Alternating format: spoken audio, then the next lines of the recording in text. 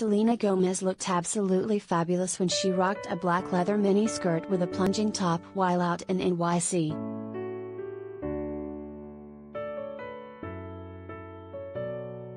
Selena Gomez, 29, has been on a roll lately when it comes to her outfits and her latest look may just be one of our favorites.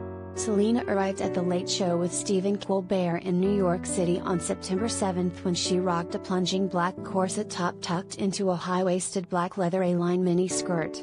She topped her look off with a pair of black strappy Saint Laurent Amber sandals, a bold red lip, and pinned straight black hair.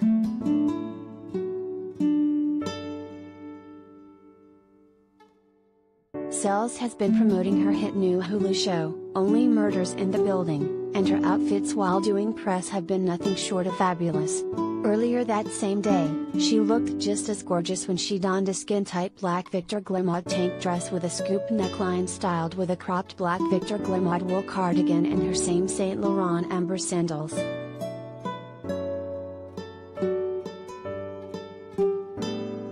After leaving the late show, Sels stitched her skirt for a forest green knit pantsuit featuring loose green pinstripe trousers with a matching tight button-down short sleeve shirt and a Prada re-edition 2000 Terry mini bag.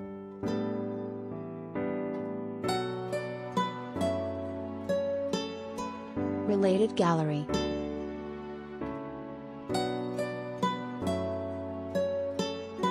Celebrities wearing leather mini skirts, photos.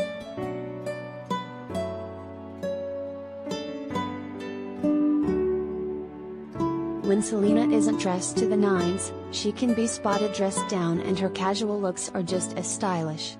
She arrived in NYC rocking a black Free People Soulmate set featuring knit flared pants which she styled with a cotton Citizen Brooklyn oversized crew sweatshirt in jet black.